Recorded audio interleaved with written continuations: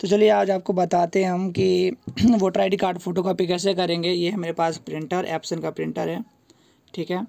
इसमें आपको LED screen मिलेगा। यहाँ पे सारे जो है कमांड आपको देखने मिलेगा कॉपी स्कैन मेंटेनेंस ठीक है? इसमें सारे कमांड आपको मिलेगा। यहाँ से कॉपी होता है, ये स्कैन करने के लिए होता है। और ये जो है आपका वाईफाई वगैरह सेटिंग करने के लिए होता है। तो और ये जो है ओके बटन है और ये फ़ोटो कॉपी करने के लिए ये वाला होता है। इसको आप प्रेस करें तो फ़ोटो कॉपी हो जाएगा, ऊपर वाला कैंसिल बटन होता है। एप्सन का मॉडल है बासठ सत्तर। ये देखिए, बासठ सत्तर मॉडल है और इंक जेट प्रिंटर है। इंक भरते हैं इसमें बी के सी एम वाई तो चलिए आपको बताते हैं कि आप voter ID card photo copy कैसे करेंगे। ये है मेरे पास वोटर आईडी कार्ड ठीक है? नया वाला वोटर आईडी कार्ड है। इसको आप फ़ोटो कॉपी कैसे करेंगे, ये आपको मैं बताता हूँ। तो चलिए, सबसे पहले देखिए, आपके पास पेपर जो है यहाँ पे होना चाहिए। ये जो पेपर है यहाँ पे नीचे। ये तो आपको पता ही होगा कि पेपर नीचे रखते हैं। वैसे मैंने जब शुरू में ख़रीदा था मुझे पता नहीं था कि पेपर इसमें होता कहाँ है।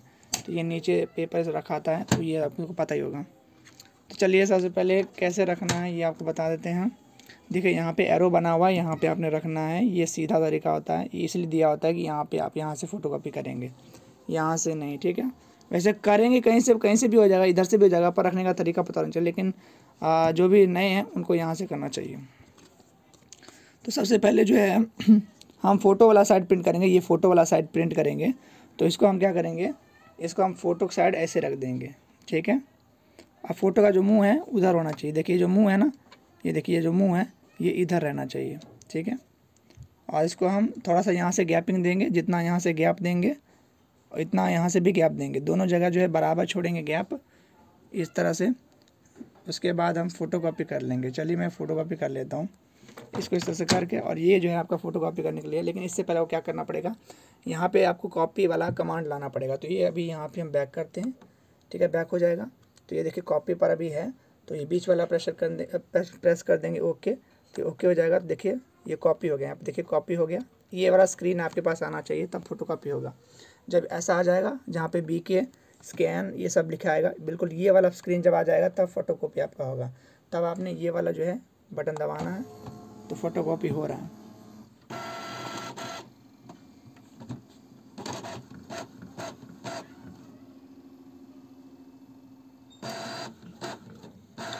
तो देखिए, ये फ़ोटो कापी हो चुका है। ये पन्ना इस तरह से निकला है, देख सकते हैं।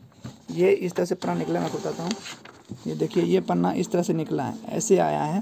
तो आपने क्या करना है? इसको क्या करना है? चलिए, मैं आपको बताता हूँ। आपने फिर उसको उल्टा करना है। इसको क्या करेंगे? आप ऐसे कर देंगे, उल्टा के जैसे ये आया ना इस तरह से, ये ऐसा से आया तो इसको ऐसे उल्टा के, ऐसे उल्टा के यहाँ पर रख देंगे इस तरह से। ठीक है?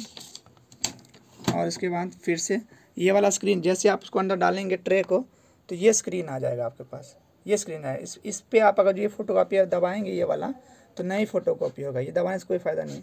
ठीक है? तो इसको आप यहाँ पे बैक करेंगे, तब फिर ये ऐसा आ जाएगा, तब यहाँ पे आप फ़ोटो कापी करेंगे। तो पेज डालने के बाद उसके बाद आप क्या करेंगे, इसको चेंज करेंगे। तो इसको जो है, इस साइड इस तरह से यहाँ से ऐसे करके ऐसे पलट देंगे, ऐसे, ठीक है? ऐसे पलट देंगे और इतना ही जगह छोड़ेंगे जितना हमने यहाँ छोड़ा था। यहाँ से भी उतना ही और और वहाँ से भी। तो इस तरह आप कर देंगे। आप ये फ़ोटो कॉपी यहाँ करेंगे। ये इसको आपने, मैंने आपको पहले बताया, ये वाला स्क्रीन जैसे बैक से हट जाएगा, ये आ जाएगा। यहाँ पे फ़ोटो कापी वाला प्रेस कर देंगे। ये फ़ोटो कापी हो जाएगा।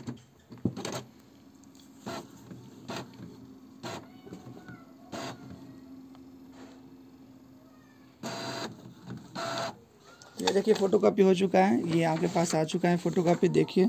दोनों कितने अच्छे बराबर जगह पे आए हैं। तो यह तरीका फ़ोटो कापी करने का, इस तरह से आपका फ़ोटो कापी हो सकता है। तो इस तरह से आप करिए, यहाँ पे सिग्नेचर वगैरह जो होता है, अटेस्टेड करते हैं।